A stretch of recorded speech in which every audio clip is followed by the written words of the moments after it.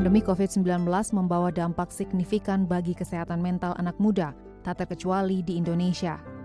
Laporan Global Risk Report tahun 2021 mencatat bahwa hampir 80 persen anak muda di dunia mengalami penurunan kesehatan mental selama masa pandemi, seperti rasa cemas berlebihan. Seperti yang dirasakan Dina Puspita, mahasiswa tingkat akhir yang merasa terhambat dengan situasi pandemi saat ini. Tugas akhir perkuliahan videografi yang sudah diagendakan terpaksa mengalami penundaan hampir satu tahun lamanya lantaran sulitnya perizinan penggunaan lokasi hingga kewajiban swab bagi seluruh kru yang terlibat. Permintaan dari keluarga untuk cepat menyelesaikan studi juga membuat Dini tertekan dan mengalami stres berlebihan. Ia pun memilih untuk mengurung diri di kamar. Beruntung ia masih memiliki teman untuk menuangkan masalahnya, bahkan membantu Dini dalam melanjutkan tugas akhir perkuliahan yang tertunda.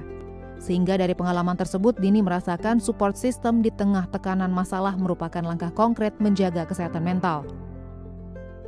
Ada banyak buat perubahan. Pola tidur yang emang sebelumnya jarang tidur, sekarang makin sering banget jarang tidur gitu kan. Karena kepikiran ini kelar kapan gitu. Terus yang kedua, eh, psikologi sih.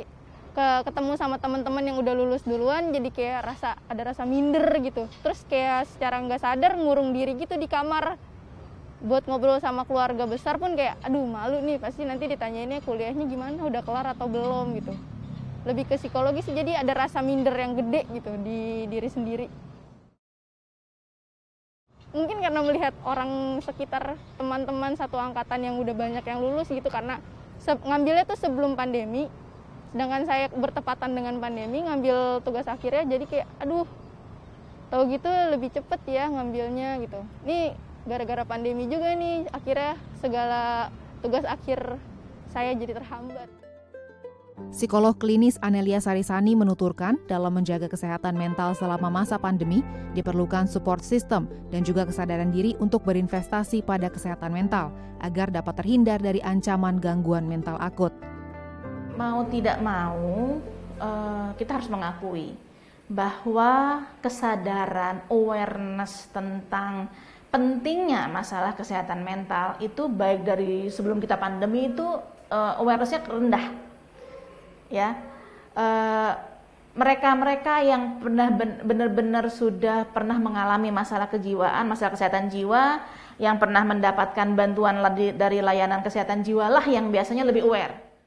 Padahal uh, yang namanya sehat yang paripurna itu ya harus sehat semuanya nggak cuma sehat fisik tapi juga sehat mental lalu juga sehat secara sosial kita juga punya kontribusi kita juga sehat gitu. Dan ini satu hal yang nggak bisa dipisahkan. Ketika seseorang e, mengalami masalah pada kesehatan jiwanya pada mentalnya kesehatan mentalnya maka e, bisa juga berpengaruh terhadap kesehatan fisiknya. Sementara itu, aplikasi psikologis digital yang menawarkan beragam layanan konseling secara virtual saat ini juga bisa menjadi solusi yang dimanfaatkan oleh sejumlah pemuda saat membutuhkan bantuan pendampingan masalah kesehatan mental. Tim Liputan DAI TV